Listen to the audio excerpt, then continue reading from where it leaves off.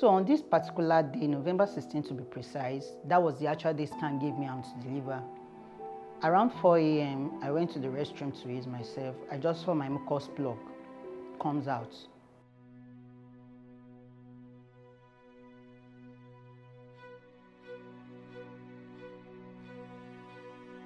When I got pregnant, I didn't know I was pregnant at the initial stage. It was no, there was no morning sickness, no symptoms of pregnancy, no spitting, no vomiting, go to work, come back. But it got to a stage, I started feeling feverish, constant headache. Then my mouth was bitter, so I was thinking probably it's malaria. My wedding preparation was in progress at that time, so moving around, I was thinking that was what caused it. So I just went to somewhere, a friend's place to collect my attire for the wedding.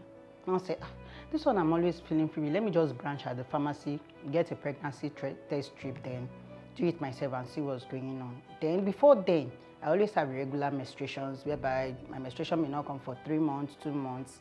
So I was like, I can't get pregnant now, now. And I've been to several hospitals. My doctor would be like, I should just calm down, I'll be pregnant. That when am I getting married? I'll tell him soon. He'll tell me, okay, anytime you're about to get married, just let me know so that we'll know what to do. So after getting the pregnancy test strip for like three days, I didn't even bother to do it because I was like, I ah, can't get pregnant, Jerry. So it continues like that. But there was a day I was at home, I didn't go to work.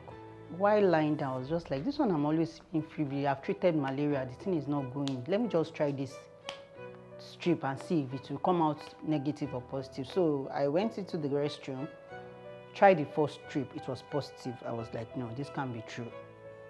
I went in, take second strip, still do the same thing. It was still positive. I was like, ha, I'm done for it. And I called my sister that, man, this is what is happening now. That seems I'm hooked. She was not like, you're not hooked now. Your wedding is on the way. I said, I still can't believe I'm pregnant, that I have to run a, a lab test to confirm. So I went to the laboratory, they ran a blood test for me. It came out positive as well. I was like, man, at last, God have done it. So everything keeps going, keeps going. I registered for antenatal after my wedding.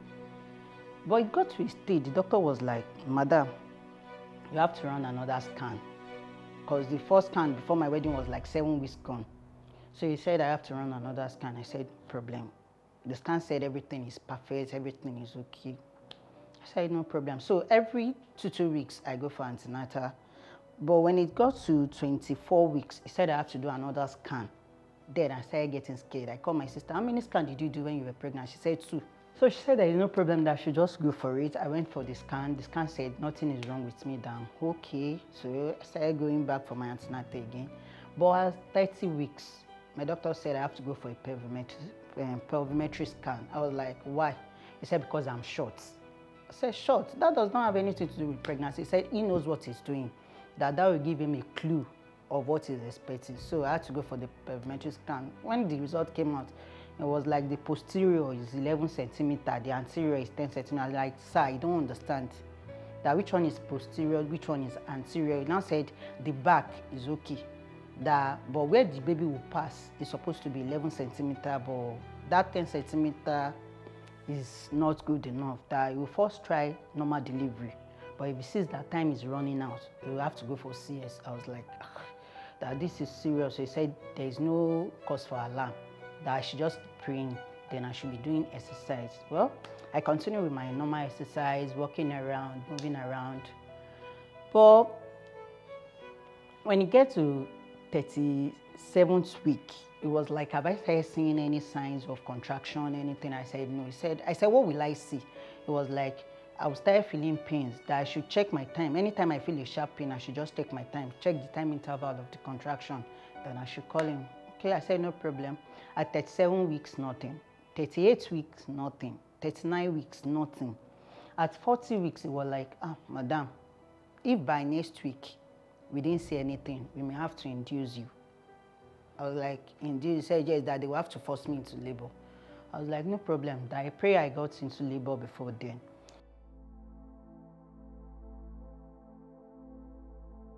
So on this particular day, November 16 to be precise, that was the actual day scan gave me I'm to deliver. Around 4 a.m., I went to the restroom to use myself. I just saw my mucus plug comes out. Then I said, okay, no problem. For me to go back, I started feeling like I want to use the restroom again. I went in, pool, do everything. But after that, coming out from the restroom, I was not myself again because I started feeling contractions here and there. Some will say 20 minutes, 30 minutes. I didn't feel my own like that. Mine was for five minutes, for five minutes. So I had to call him around 5 a.m. that doctor, I don't know how I'm feeling. Can I come over to the hospital? He said I should not come yet. That I should wait till around 6:30 or 7 in the morning.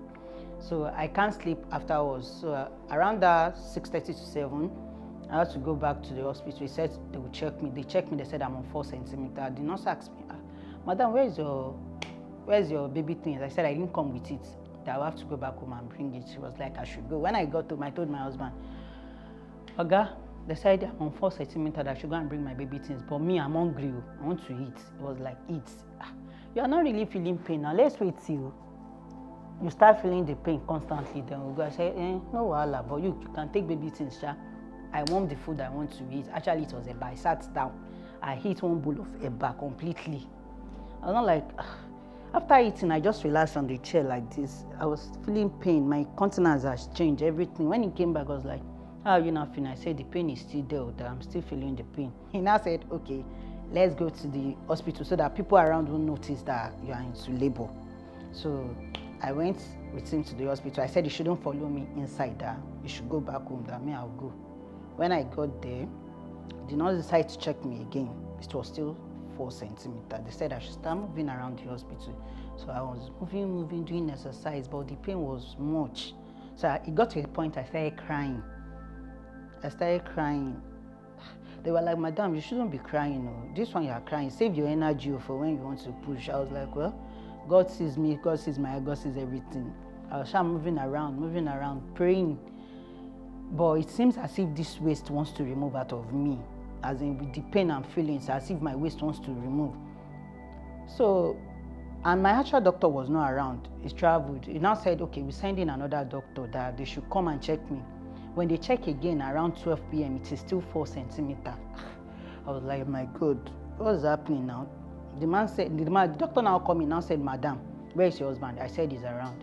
He said they should give the phone to you. Now told my husband that we've told you that if the labor prolongs, that I will have to opt for CS. But let's still wait and see what will happen. It continued that I got to a stage. The nurse wants to check me. She was like, I should open very well for her to check. I was like, Madam, I can't open my laps more than this. She was like, ah, no doctor can deliver you through this means now. You have to open it very wide. You have to put both your laps on the bed so that you can say, Madam, I can't open more than this, please. He now called two nurses to come and hold it. As those ones were stretching, I said, except you break my bones. That's when my last will touch the floor. That, that's the only thing I can do. The nurses now told her that, Madam, she can't spread her laps more than this, except you want to break her rib bones. She now said, okay, no problem, that I see as I'll go for.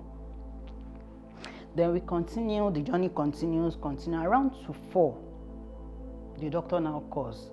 Now said, Oga, the CS your wife will go for.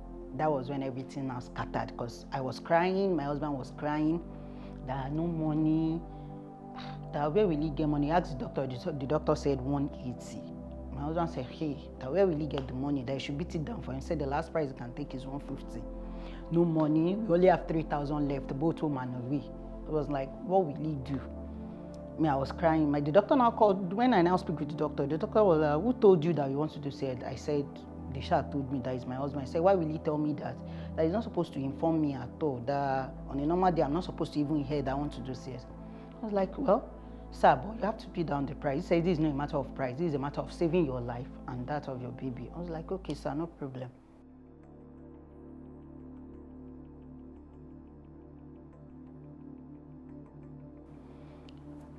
So we just started calling people, but thank God somebody have mercy on us, everything. So he now said will call a particular doctor that when the doctor comes in, whatever he said is final. Around 10 minutes to 4, that was when the doctor he called came in. That one, when that one first saw me, was like, Madam, are you okay? I said, no, sir. Said, I can see it within you that you are not okay. And I said they should bring glove for him to check me again. When he to also check, it was still four centimeter. It was not like, Madam, you'll be okay now, but CS you do. Are you ready? I didn't even answer him, I was just crying. And I said, can I pull off my clothes myself? I said, yes. I pull off the clothes. They've already arranged the theater, done everything. So he said I should, they should set two drips on my hand, which they did. They now took me to the theater. When we entered the theater, I was like, can they call in my husband for me? They were like, yes. That what happened? I said, we want to pray. So when he comes in, we pray. The doctor was like, we are not going to cause here to that we'll pray before we start. I want to see him that we should pray. We prayed. They said, asked him to step out. But when they are about to start, they just use normal their clothes cover me, leave a space around my belly for where they will cut me. So the doctor was not like. All I know, what they said last was, give her the injection. It was just as if they dread cutting on my face. By the time I, I, I but during that period, I was noticing someone moving my legs, moving my legs.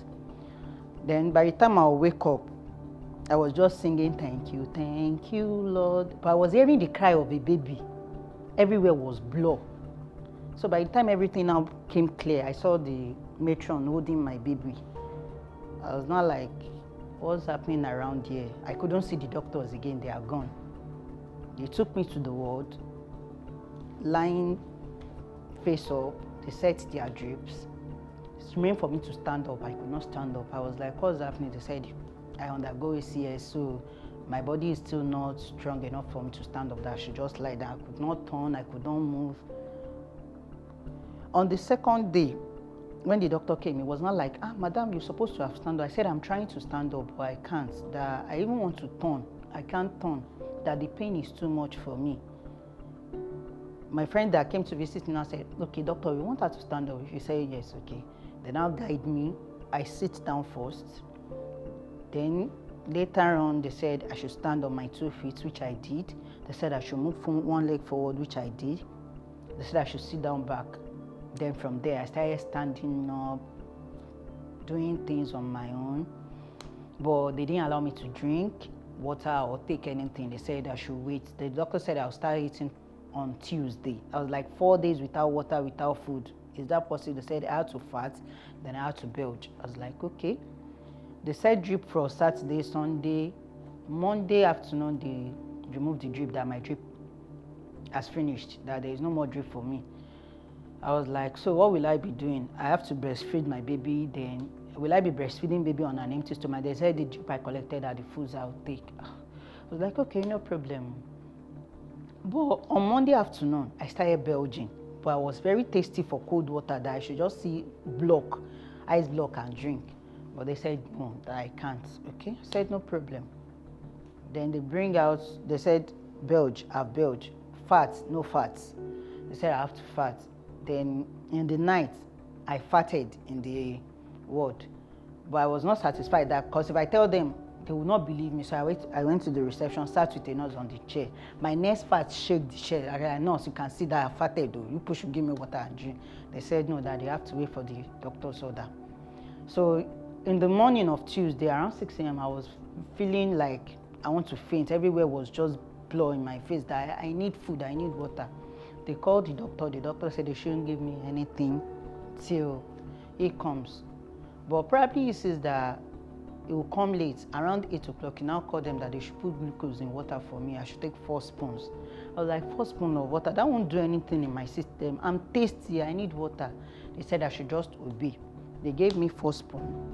I took. I was the one checking time. Immediately it was an hour. I went back and called the nurse that it's an hour already. I need water.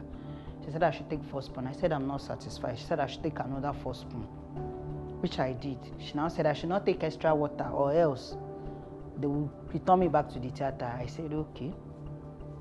As I was trying to see if I can sip water from the remains, she was just coming. She was like, Madam, you want to do? I said, No, I want to throw the water away. That is not good again. She said, No problem. When the doctor now came, she was like, Madam, how are you feeling? I said, I'm fine, but the pain is still there. She was like, it was like, okay, no problem. That you can eat now. I said, Doctor, I can eat. She said, Yes. I can eat. He said, Anything. He said, Yes. I said, Okay, I'm hungry. You should give me food. They were not like, I can't eat solid food. That is pap. I can take. Okay, you should bring the pap. They bring the pap. I drink. I was like, I'm still hungry. That I need food. That was when they now started giving me food doing everything, but the pain was much. I could not do anything. They were like, don't lift something from the floor, don't carry anything heavy, you don't move around, don't do this, don't do that. But at the end of the day, it's cause for celebration.